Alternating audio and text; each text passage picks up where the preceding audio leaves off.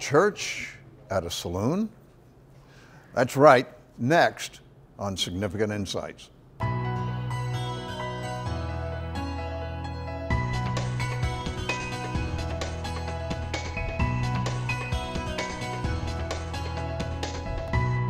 Hello and welcome to the program. I am in Cave Creek, Arizona, and I'm at a place called the Buffalo Chip Saloon and Steakhouse. Now, the Buffalo Chip is known for a lot of things. They are a hangout for the Green Bay Packer fans. They also have incredible live music, and also out back on Wednesdays and Fridays, they have live bull riding. But even more than that, also out back, every Sunday morning, they have church. It's called Church at the Chip. And I'm going to be talking to the owner of the Buffalo Chip as well as the pastor of the church. Hey guys, good to have you on the program. I, uh, I've really been looking forward to this. Steve, we, Shirley and I, came to uh, your, your church, Church on the Chip, mm-hmm. uh, a few years ago. And we were, we went a few times. We were snowbirds at that time. And from that time on, I said, someday I got to tell that story. I mean, this yeah. is an unusual situation. I got to tell that story. Uh, how, how, did the two of you meet? Well, I don't know if you remember exactly, but because uh, I don't remember much. You don't. You do remember when we no. first met? Well, I spoke yeah. once. They used to for a community event called Wild West Days in the fall. Yeah. They would offer a cowboy church. Uh, that Sunday morning of that event. That here in Cave Creek. Here in Cave Creek at the Buffalo Chip and uh, it was. Uh, uh, and, and a person who was on the planning committee was in a small group that I was leading for the church. And she said to me, Would you like to speak for the Cowboy Church there? And I had honestly not even heard of it, you know. So, uh, anyway, I spoke at that Cowboy Church service that they had here on that day. And afterwards, Larry came up and gave me just a you know, really strong handshake and said, I really loved that. Uh, and I hope you can do that again for us sometime. But then when, when did you actually decide that you could have a church on the property. Well, I spoke at the next year's Cowboy Church as well okay. that same Sunday. And then, independent of that, I had gotten to the point where I just really wanted to uh, start a new church and have it right here in the town that I lived, right here in Cave Creek. There's lots of bars here, lots of thrift stores, lots of entertainment here, but there was only one church in town. I thought there ought to be a different one. So, in any case, make a long story short, my little group uh, uh, was trying to figure out how can we get people to know about us. So that's when I called Larry uh, and I'd not really known him well, but I said, could we have an Easter sunrise service there as kind of a community event? We were thinking just one time. Okay. And he said, we could, you can come back anytime you want. And I thought, really? and so after we, in, instead of just coming here that one Easter Sunday, we came that Easter Sunday, and uh, in seven years, we've never left. We just so kept that, on coming. So that was the beginning. The rest is history. And that's when we became more of a cowboy church. Well, why? I mean, uh, you don't normally see a, uh, a, church on the property of a saloon. Uh, you have bull riding here. You have this. It's, it's, a family place, but it's a saloon. What was it that caused you to think about having a church uh, on, yeah. right here on your property? Um, it, you know, and so Steve's kind of modest about this, but but Steve has always had a good reputation in the uh, religious uh, yeah. community. That you know he was outgoing and friendly and genuine, and uh, I I knew that. Uh, he, he was a man of his word, and, and so th- that impressed me about him. But also, and I say this uh, kind of jokingly, but, but, but I mean it. I, um, I spend all week making sinners out of a lot of people. okay, uh, you know, th- there's alcohol here, there's dancing, all, all the depending on what religion you are, all the sins are here. I'm I'm a religious person, and I feel like everybody, no matter what they uh, do for a living, no matter what they do, uh, you know, they owe something back uh, to the community, particularly yeah. the, the Christian community. Yeah. So uh, I, I, thought that at least once a week we'd try and do something here at the Buffalo Chip to uh, redeem us. you know, Larry is known for his frankness and for his honesty, Yeah, and that's yeah. a that's a good evidence. I spend my week making sinners out of them. Now, maybe on Sunday, Yeah, Steve, you Yeah. can come in. And try and try and fix it, Straighten it out. wreck. Yeah, yeah. yeah. So we get that challenge, and we're, we're thankful for And it. as you see, he's pretty busy with it. I mean, you know, when they first started, I think if he had 20 or 30 people, you know, that was that was his flock. But uh, now it's two or 300 people or more, and so and, including doing a good uh, job with us. including one of the Cave Creek city councilmen and other Oh, yeah. dignitaries from Cave Creek. It's it's it's very much a local church. Yeah, it's, it's very, but it's not a traditional church. Right. Yeah. We'll be back with more from Larry and Steve right after this. Stay tuned. I will tell you this: there are no negatives to Church at the Chip here. I only see positives. Therefore, my beloved brethren, be ye steadfast, unmovable, always abounding in the work of the Lord, for as much as ye know that your labor is not in vain in the Lord. Welcome back. I am in Cave Creek, Arizona, at a place called the Buffalo Chip Saloon and Steakhouse.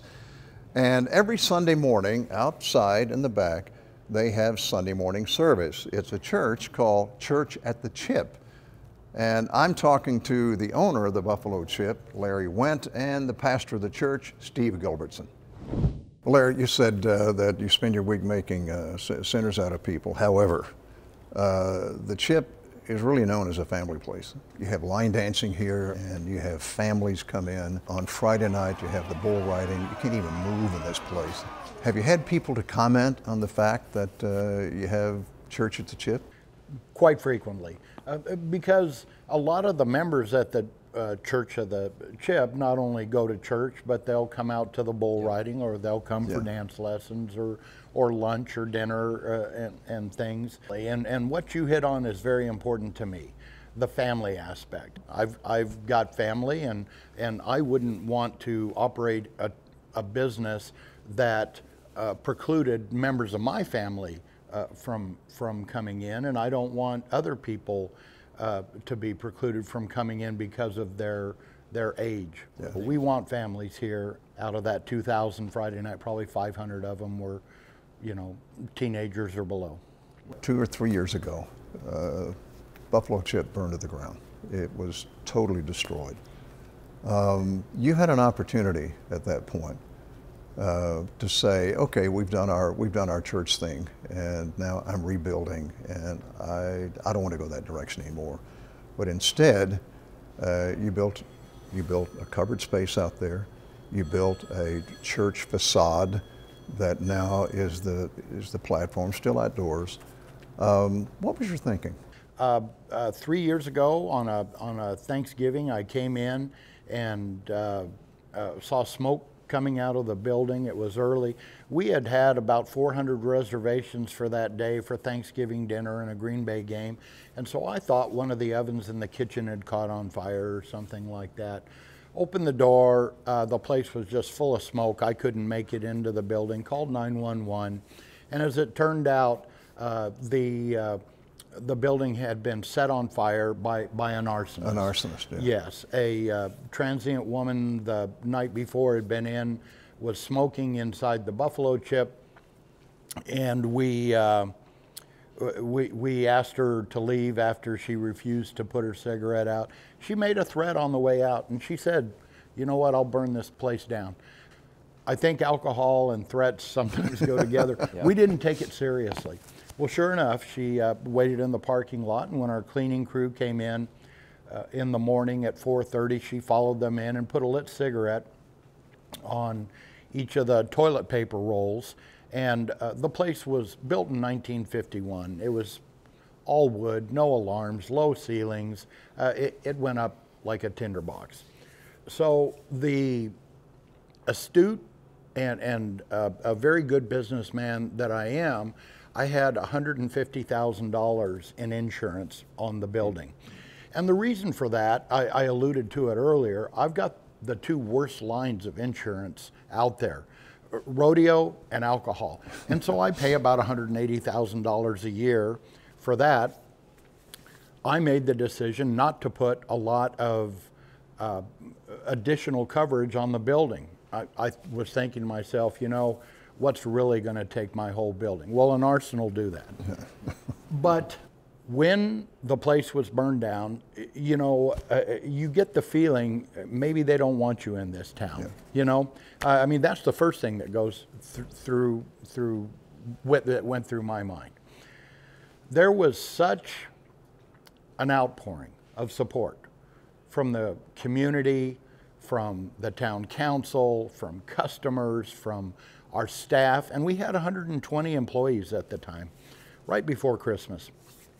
And so uh, from the time uh, they put a fence around the entire place immediately because it was under the investigation for arson, people were lined up around that fence for three days. Three days. Um, people were out there. I knew, I knew right away uh, I wasn't going to just really retire and walk away. I knew the community supported uh, the Buffalo Chip, and um, so we we set about uh, rebuilding. You ask about uh, in, including the the church. Um, I knew with only $150,000 in insurance, and a project like this is, you know, well over a million dollars, I'd have to have a little help from somebody uh, so I wanted to stay uh, tight with God throughout that, and and and I made a promise to, to him yeah. That whatever brought us to this rodeo, uh, I'm going to continue it. I hope you've enjoyed learning about the church at the Chip here at the Buffalo Chip Saloon and Steakhouse in Cave Creek, Arizona. Steve Gilbertson has final thoughts right after the break. I'd already seen one church plant fail to take root in my life, and I was scared to death to try it again. In a lot of ways, I was kind of like Moses, who had said to the Lord when he appeared to him in the, the burning bush, Lord, I'm not qualified, or Lord, I'm too old, or Lord, I'm not, I don't have the gifts that I need for all of this, or Lord, I've already failed at doing this once before.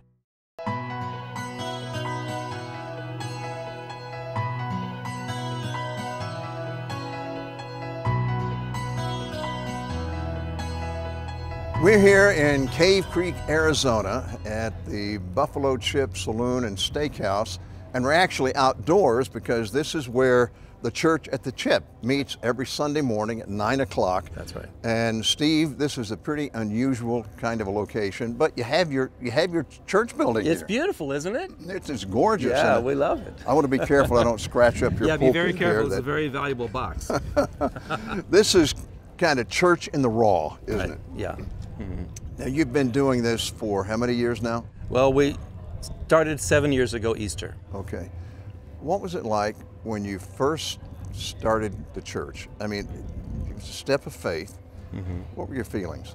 Oh, well, we were, you know, we were pretty worried about it, to be honest. We had no funding, no support, and just a small group of people. And yeah, you know, it, was, it just felt like I needed to do it, but I didn't really know how it was going to turn out. And uh, I kind of say it's almost more of an act of desperation than an act of faith. And uh, uh, but yeah, we just felt like we just needed to put feet onto our faith and to put into practice what I've been teaching and step out in faith and and do it. To put a church in this town. But isn't that really what faith is about? Yeah. You know, faith is a substance of things hoped, Hoped for. for. the evidence of things we Not don't see. yeah. If we know all the end result, then it's no longer faith. Right, right, mhm. And sometimes that faith is much a much greater step than other times when we can't see how it could possibly work. That's right.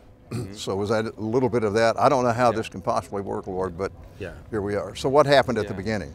Yeah, it was really hard that first summer because we were kind of incognito a little bit, but we put a sign out in the fall and started to hope that people would show up. And uh, I remember vividly the day that I was cleaning a pool, which is how we supported ourselves for the first four years. And uh, I got a phone call out of the blue when I was standing by a certain filter in a certain spot. I remember it vividly when someone from the Arizona Republic called us. And he said, uh, We'd like to do a story about your church. And I, I was thinking, he doesn't know there's only a dozen of us here, but um, uh, sure enough, they came in to, to do the, the, the uh, to do a, a, story about the church. But I remember specifically hanging up from the phone uh, on the phone that day. It was a flip phone. I didn't have a regular smartphone, and putting it in my pocket and kind of having a this is odd to say, but kind of a moment of personal worship, because it was when the Lord first really began to say to me, Steve, this is going to work. Yeah. I got this you know, we've been going for six months, and it was the first time that I,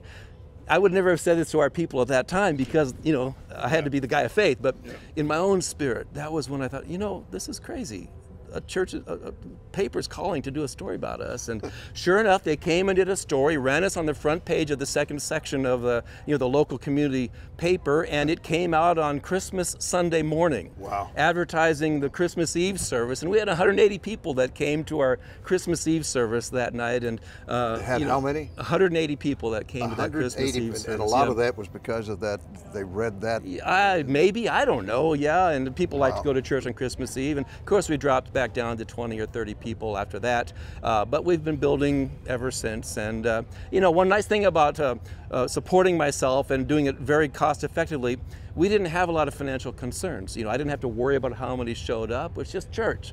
Come yeah. if you like it. And, uh, got, and we've never taken an offering. We have boxes out of the back, but yeah. people have been responsive to that. We're outdoors, kind of warm today. Yeah. We're headed toward hotter weather. How do you handle the inclement weather, the different types? Because you have in the wintertime, it can get pretty cold. Yeah. In the summertime, it can get very hot. yeah. How do you handle that?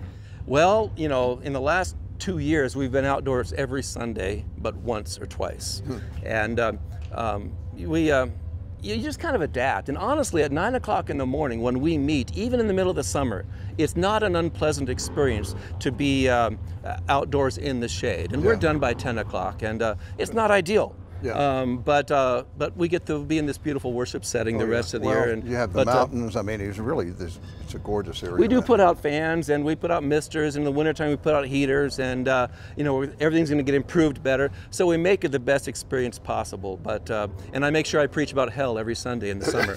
no, I'm just joking. Well, especially when it's 115 yeah, right. degrees. Yeah, no, I don't. I people can really relate to that. Yeah. Uh, you have the final thoughts for us. What do you, what's your topic? Well, I thought it'd be appropriate to talk about stepping out in faith, and so I'm going to talk about that today. Sounds good to me. I'm All going right. to turn it over to you. All right, thank you, Jake.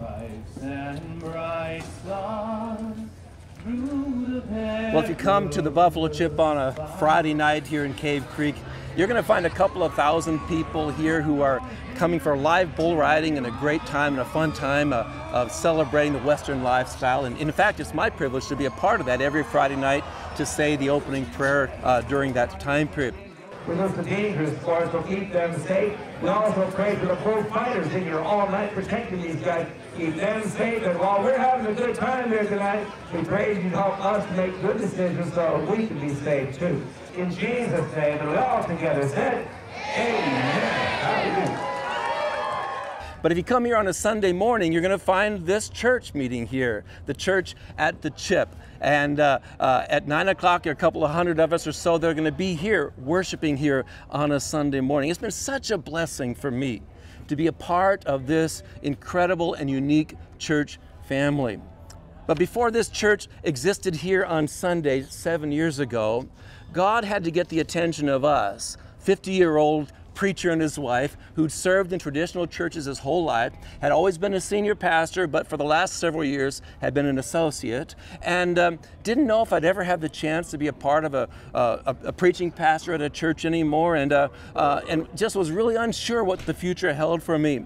I'd already seen one church plant failed to take root in my life, and I was scared to death to try it again. In a lot of ways, I was kind of like Moses, who had said to the Lord when he appeared to him in the, the burning bush, Lord, I'm not qualified, or Lord, I'm too old, or Lord, I'm not, I don't have the gifts that I need for all of this, or Lord, I've already failed at doing this once, uh, once before. How do I know you really want me to do this? So that 2011 period the fall, when I was contemplating this, it was very, very difficult for us. And I remember a particular Saturday when my wife and I were working at home, and um, and I get this phone call out of the blue from the Ritz Carlton uh, Hotel, and uh, they say to me, "Hey, are you available to do a special chapel service here at the Ritz Carlton tonight?" And I said, "Well, sure, I'll be glad to do that." I had no idea, totally out of the blue, and uh, uh and I said, "Well, who's it going to be for?" And they said to me, "We can't tell you." I'm thinking, "What? You want me to come preach for a group? You want to tell me who they are?" No, we can't tell you, but can you come here? Well, I, well, sure, I'll come, but what do I wear? Would a suit and tie be? What? Do, sure, that'd be fine. So I start to think that afternoon, well, what am I going to say when I'm talking to people I've never met? I don't even know. I don't even know who they are. And that's kind of like you today. I've never met you and don't know don't know who you are, and I feel a little bit like that today. And so I'm thinking, what am I going to talk about it. And so I began to wonder, who am I talking to? Will it be some foreign dignitary who's come in? Will it be someone who's a, uh, you know, famous? I don't know who it's going to be. So anyway, I show up in there and I begin, I begin to uh, uh, think about what I'm going to talk. And I thought about Moses there in the wilderness. I thought about, I'd been thinking about that morning, and I thought about Moses when he was encountered by God at that burning bush. And I thought, you know, I'm going to go to talk to these people and uh, I'm going to invite them to be responsive, like Moses, to whatever God has uh, for them. You know, whenever God shows up in your life, he asks you to do something important. And I'm thinking, well, what am I going to do? This is what I talked about. Am I going to talk about, am I going to be like Moses, who said, Who, Lord? Me? Or will I be like Jonah, who said, No, Lord, no? Or will it be like Mary, the mother of Jesus, who said, Yes, Lord, yes? So I thought, I don't know who these people are. I'll come in and I'll talk to them about that. And as I, so I show up there at the uh, at the Ritz Carlton. I get ushered into a back elevator, and finally I said, well, who am I actually going to be talking to? Well, as it turned out, I had been invited to be the chaplain for the San Francisco 49ers that evening before they played the Cardinals the next day. Here I am dressed in a full on suit going to speak at a chapel service. I had no idea. I was so surprised and felt so overdressed, but the people, the guys who were there, were so incredibly gracious to me. I shared my message and found them to be uh, welcoming. And as I shared, I couldn't help but tell them about this new church that I was thinking I might want to start. And as I'm talking to them about, yes, Lord, yes, or no, Lord, no, or who, Lord, me, I couldn't help but think, you know, I'm going through that same issue uh, myself. And, uh, and so at one point, the veteran tight end for the 49ers came to me and he said, So, tell me, what are you going to do? and I said, Well, I think I'm going to say, Yes, Lord. Yes. And that was the first moment for me that this church, crazy church idea became something of a reality in my spirit. So I encourage you as you think about your own life, and whatever it is God is saying to you, stepping out in faith is not having all of your questions answered, not knowing everything's going to be perfect as you do. Stepping out of faith is simply a matter of saying, Yes, Lord, yes. And it's because of that yes that then God can open up the doors what might be in the future for you. You might be like me and have lots of fears and concerns about that. But faith is stepping out despite your fears because the object of your faith is Jesus and his call, not the strength of your ability to follow him. So I want to encourage you to say yes to Lord. As it says in 2 Corinthians, don't say yes and no, but our promise is yes to the Lord. And so I would leave that to you as a challenge for you for the future. And I wish you all God's best as you say, Yes, Lord, yes, to whatever He has for you in the future. God bless you. Thank you. Good oh, word. Good word. You. I think we all can uh, take heart to, to that. Uh, really, living by faith is what God expects of us. Right. So, yeah. thank you very much. Very much. And thank you for the opportunity to be here today. This has been great. It's a, it's a great story, not only of faith, but of how God can use a lot of different ways and means to reach people. Exactly. So thank you. Thank you. Now, I, I just want to mention that uh, you, you have service every Sunday morning. Every Sunday at 9 o'clock. 9 a.m. year round. Yes. So if you live here in the Phoenix area, Cave Creek, this area, uh, you're certainly invited to come yeah, here of course, uh, yeah. on Sunday mornings. Love to have you. Uh, if you come here for the season and you're looking for a place for church, the church at the Chip, Yeah. right here at the Buffalo Chip Saloon and Steakhouse. in Cave Creek. and uh, we we got our own little church building here. It it's great. It's perfect. Once you started to worship outdoors, you never want to go inside. never want to go back inside. Thank you very much, and thank you for joining us for what uh, one of my favorite programs. God bless you. Thanks for joining us. We'll see you next time on Significant Insights.